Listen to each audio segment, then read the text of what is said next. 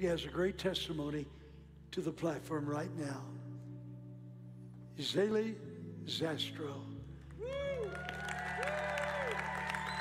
The daughter of Brendan and Sarah, who are members on our staff. Who Kaylee's got quite a testimony. She's 12 years of age.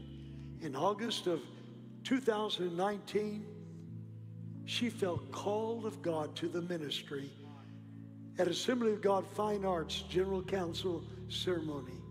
Three weeks after that dedication, returning home, see, the devil's not pleased when we make a dedication.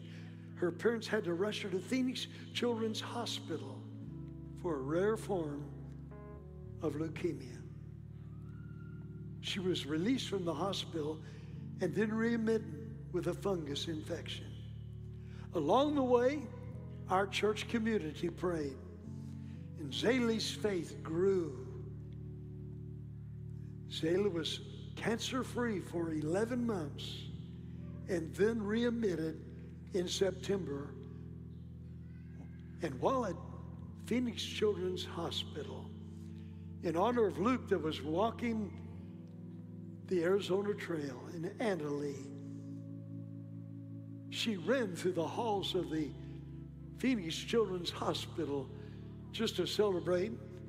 And I think she probably pray for Luke a little bit better as she run around the hospital. Zailey, someone gave me your testimony that you gave to the youth. And this church loves you. I want you to give that same testimony you gave to the youth church. It's good for us too. So today I'll be sharing a couple of things that I have learned from my experience. So, as you all just heard, Satan has been trying to attack me the last year. And it was hard at first because my faith wasn't developed yet. But then, as my journey went along, I started to build my faith up. Now, some of you may be thinking to yourselves, wow, she must be like a real faith warrior. Maybe that I just started out like ready for this and I just already had a lot of faith. But no, that's not right. I never really expected this to happen or that I would ever preach on this stage. And yeah, I have been going to church my whole life, but I never really knew God, I just knew about God. Now, let's talk more about what that really means. So, as I was saying, I've been going to church for a long time. But what's the real reason you go to church? Before, I used to just go to church as a social event, or maybe even to be satisfied with myself. But now I go to church for the worship and to be in God's presence and to learn more and more. Which group do you think that you would fall in? And if you're not really sure, then here's another perspective. When, in the past, you have listened to messages, do you apply it to your life? After you go home, do you do the opposite of what they were talking about? Do you be intentional? If not, then maybe you need to stop thinking of the messages and start doing them. And if you're really being true to yourself and thinking that you are with, right with God, then go further. If anyone else is going through a storm, you can pray with them and encourage them because it always helps. I know that it really helped me when the church community prayed for me, so you can pray alongside with others too. In the Bible in Romans 10:2, it says, "For I can testify about them that they are zealous for God, but that their zeal is not based on knowledge." Now, what that means is that the religious leaders were just preaching with head knowledge and no passion. They were just saying stuff that they maybe even didn't believe. And I know that they had head knowledge and not heart knowledge. And if you're thinking to yourselves, well, what does that even mean?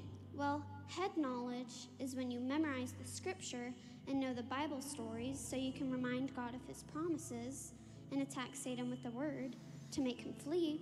But heart knowledge is when you have a good relationship with God and when you can feel comfortable telling others about Him and when you love Him so much that you don't want to sin against Him. And I think that they both work together because you could have head knowledge and not actually know God, or you could only have heart knowledge and have it be easier to sin because you don't know what God expects you to do because you haven't even read the Bible.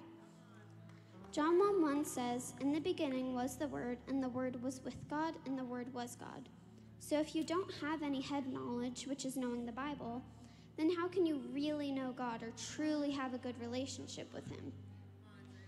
Now, you may think, what's the big deal if I don't have a relationship with God because I'm saved anyway? Now, I used to think something pretty similar, but there's so much more than God can do for you than just let you have a spot in heaven. And if you maybe just don't feel comfortable trusting a God that you can't see or don't know his plans, you should stop worrying about what you don't know about God and start reading and trusting what you do. Because when your storm comes, will you be ready? If you were to find out tomorrow that you were going to get a deadly disease, do you think that you would have enough faith to fight it? Now, I feel like the first step to finding a better relationship with God is acknowledging that you haven't been right with God. So now I'm going to pass it off to Pastor Tommy for the prayer.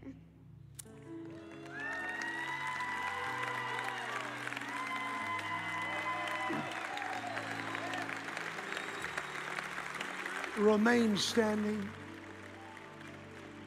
Yes. Because we're, go- we're just about to close, so remain